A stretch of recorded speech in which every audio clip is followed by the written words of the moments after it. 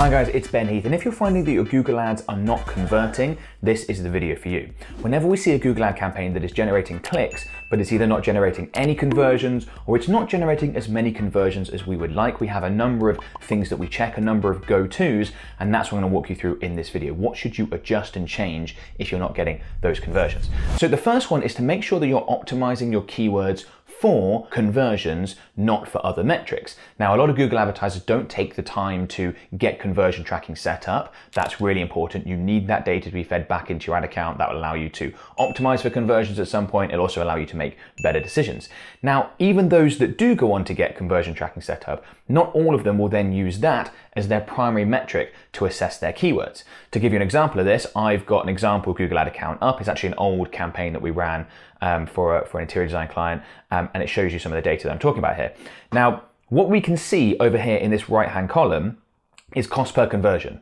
And whenever you're assessing an element within a Google ad campaign, so whether it's a keyword or an ad extension or even an ad, you want to primarily be looking at cost per conversion. That is the more important metric. Now, it's very easy for Google advertisers to focus on something like CTR, click through rate, and think that the keyword with the highest CTR is the best performing.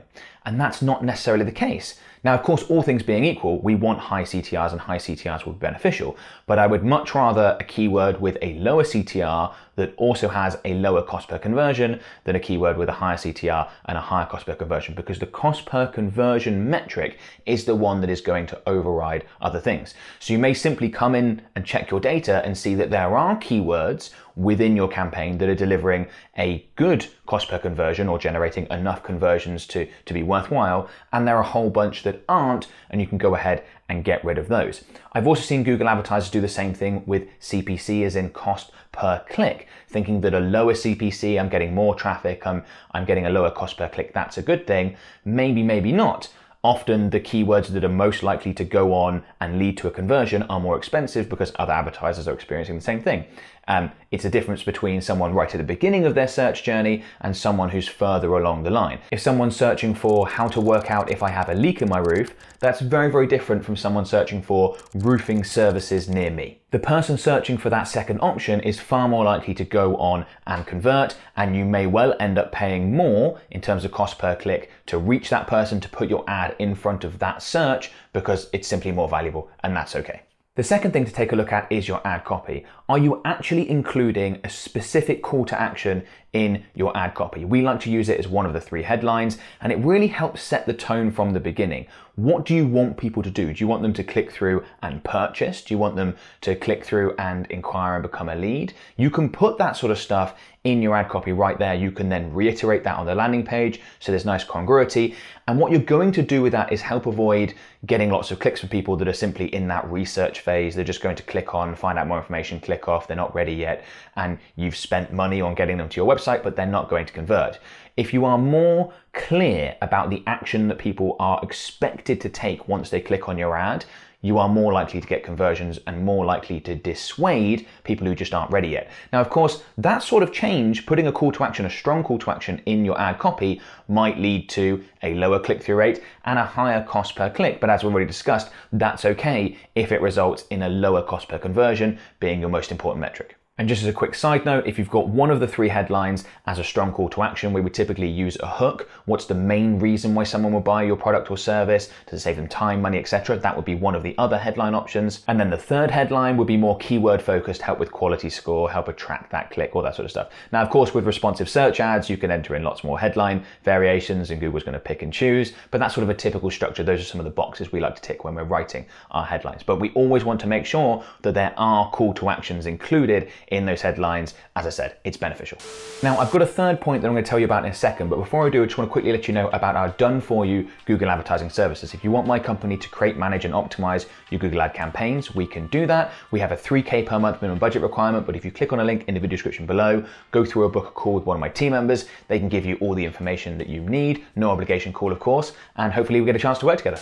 And the third thing we will take a look at if we're finding that our Google ad campaigns aren't converting as well as we would like is to redo the whole strategy and make it more specific. Now, it's very common for businesses to only serve, say, a subsection of a market, but they don't set their Google ad campaign up that way, where they're only going after people interested in that subsection of the market. They target keywords, for example, that are broader, that, that include other segments of a, of a broader market. And they do that because they think, well, some of those people will be interested in what we have to offer. And that's true, but you don't want to advertise to a large group where only some of those people are interested because you're going to get those clicks and you're going to have to pay for them and they're not going to go on to convert. You want to set up your Google ad campaign specifically to target the subsection that you serve. Now, obviously you could do that with keywords, but you can also do that with your ad copy. So to give you an example that's very relevant to what I actually just talked about, we offer done for you Google advertising services, but we have a 3K per month minimum budget requirement. Now, if we're running a Google ad campaign for our services,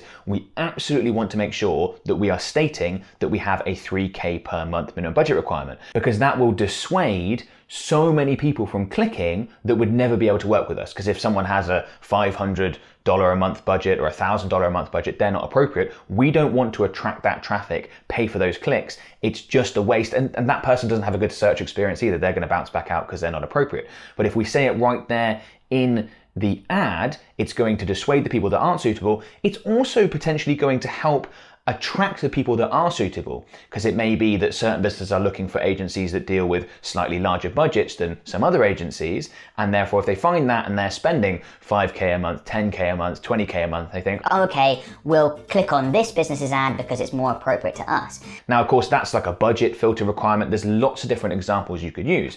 Let's say for example you are running a google ad campaign for a business that fits kitchens that puts in new kitchens but you only do it in apartment buildings. You don't do it for you you know, detached houses, for example. I don't know if those businesses exist, but let's just let's just go with it. Let's run with it. You can think of all sorts of different examples.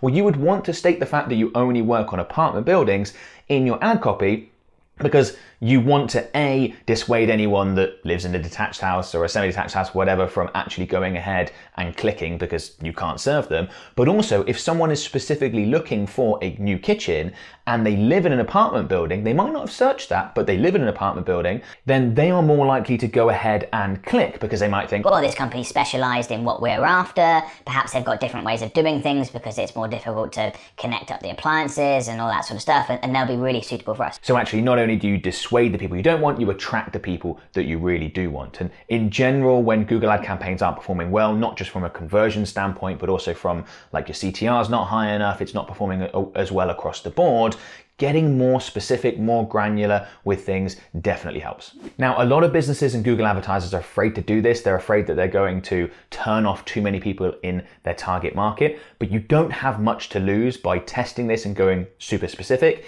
If you find that you just aren't really spending your budget and you would like to broaden things back out, you can always go ahead and do that. These things are quite easily reversible, but it's well worth a test to be more focused because if you do find there is enough search volume, there is enough engagement, enough clicks within that more segmented targeting option, that more segmented way of doing things, then great. You're likely to massively reduce your cost per conversion, which is going to increase your return on ad spend. Happy days. And another thing I'd recommend to help improve your conversion rates is either switching to or adding in a Performance Max campaign to run alongside your search campaigns. Now, I show you exactly how to create a Performance Max campaign from scratch in this video here. It's a detailed walkthrough, very easy for you to follow along. And if you haven't yet created a Performance Max campaign, the results could be fantastic. Go ahead and check it out.